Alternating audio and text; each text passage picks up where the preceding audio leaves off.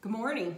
I'm Cindy Hamilton, and I'm the author of Praying Through Psalms, a guide to contemplative prayer using Anglican prayer beads. This is the third in a series of six short videos on praying through the Psalms and making your own prayer beads. This morning I'm going to show you how to make them, things you'll need to get you started, and then the next three we can start praying together. So when I um, begin, I, after I have chosen my cross and my um, invitatory resurrection and four cruciform beads and my sets, there are four sets of seven beads.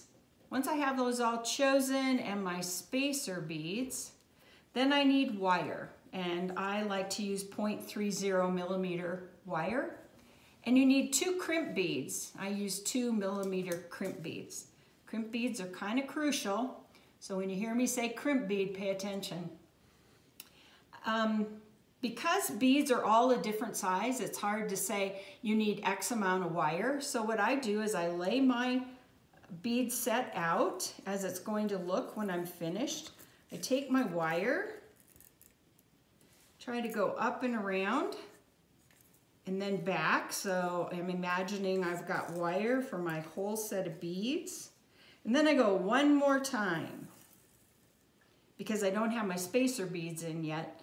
And you will cut off some at the end, but better to have extra than to be short and then have to start over. Okay, that's step number one. Next step is your first crimp bead. You put your first crimp bead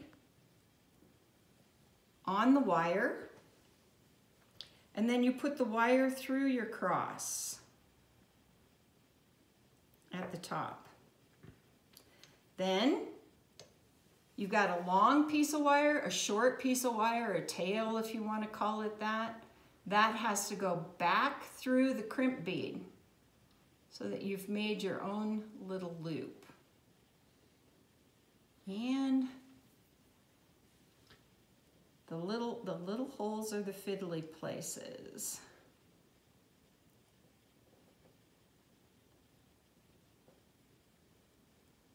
Okay. I still do not have that on there. Sorry, friends. So that'll give you time to get your wire through your cross your crimp bead on. And then you want to have enough of a tail to come back up through these first three larger beads. And then you want to get this crimp bead down as snug as you can. And you're going to crimp it. You crimp the first crimp bead, but you don't crimp the second one when we put it in. So we'll put the second one on in just a bit. Then I use a couple of Spacer beads, I like to just leave mine on the table. It's easier for me to put the wire into the hole. But those also need to go both pieces of your wire. Eventually you won't have two to keep working with, but at the beginning it's fiddly. And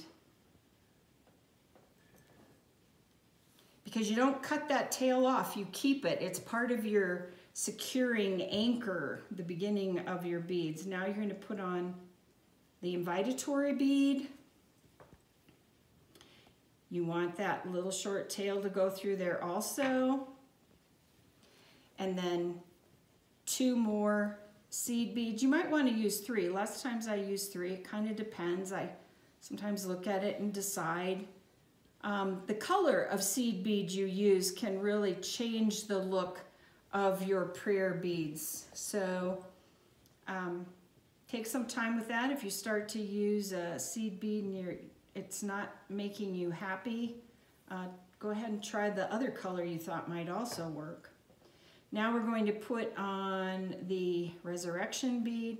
I found uh, this stone at a little rock shop. I've been waiting to use it. It um, it's just pretty and it makes me happy to look at it because it's got two different colors and makes me mindful of how creative our Lord is. Then two more. Two more seed beads. And then our first cruciform bead. So we're just about past the really fiddly part at the beginning and then it gets fiddly again at the end. So here's our first cruciform bead. Cruciform beads I was pretty excited about. I found them at a garage sale. So when we can garage sale again, know that people lots of times decide it's time to get rid of their craft stuff. And now the second of the two crimp beads. So the first one was at the top of the cross. We pinched it off or crimped it off. This one we will not because we're now gonna go up all the way through all of these and come back and go through the crimp bead again. And once we get it secured, all this wire back through, um, then we will crimp it off. Don't crimp it off now. I've worked with a lot of people and that often gets crimped off and then you don't have an anchor. So you have to take your whole set of beads apart. Now, we begin our first set of seven beads. So it's, um, again, I did two uh, seed beads right after the first cruciform and then my first week bead. I'm only gonna put one of these in between each of my uh, week beads or sets of beads. So it's bead, spacer, bead, spacer. And it's going to go all, all the way up and around. I'm not going to finish this off, but just, just know you're gonna go bead spacer, bead spacer, and then when you get to your cruciform beads, you're gonna do two. Two on either side of your cruciform bead, and then back one to one through seven, and then two more. I always stop and count my beads before I get to the next cruciform bead to make sure I actually have seven and not six. Now I want to show you one thing. I showed you a cross that the wire goes through the top. Sometimes you'll have a cross that the hole goes through the whole thing. And what I do with that is I go ahead and put the wire in. I take a little spacer bead so that it's anchored at the bottom. I put this back in through the hole of the cross. Pull it up and then repeat with the cruciform bead. You can always ask me a question in the comment boxes or message me on Facebook with questions that you have. Then I wanted to show you, now you've gotten all of your, your beads and spacers, beads and spacers, and you've come to the end. And now it's time to put this wire back through the, the crimp bead that you did not crimp. And what I usually do is just do a little measurement like this and cut off this extra. So there's a little bit of extra, but it's too hard to fit that much wire through. So you're gonna go back through this crimp bead, through this hole.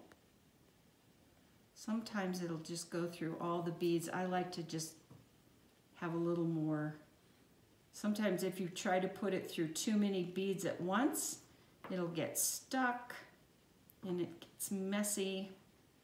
Now, if you have beads with really small holes and your wire's too wide, that becomes difficult.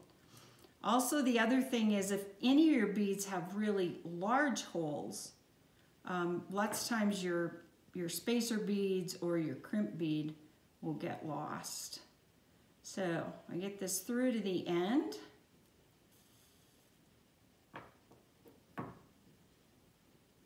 Where are you? Ah, there it is. Then I pull it just as tight and secure as I can. One thing, remember to keep um, counting. Make sure your pattern is right, that you haven't ended up with six or eight week beads or that you haven't skipped a cruciform bead. Um, it, it's not the worst thing in the world to start over. I've made every mistake possible and have redone more sets of prayer beads than I like to count. Um, but if you keep looking at a pattern, if you have a picture in a book, I'll take a picture of this and post it in the comment section on Facebook so you'll have that to look at. If you have the book, there's a pattern inside the book. Now, you're going to get a hold of that little crimp bead. You're to squeeze it. You're going to cut this off as close as you can. Then you have another set of beads. You can see I really like turquoise. If you have questions, feel free to contact me. I would be happy to answer your questions. Now we can get ready to pray some of the Psalms together. I'm Cindy Hamilton. Peace of the Lord be with you.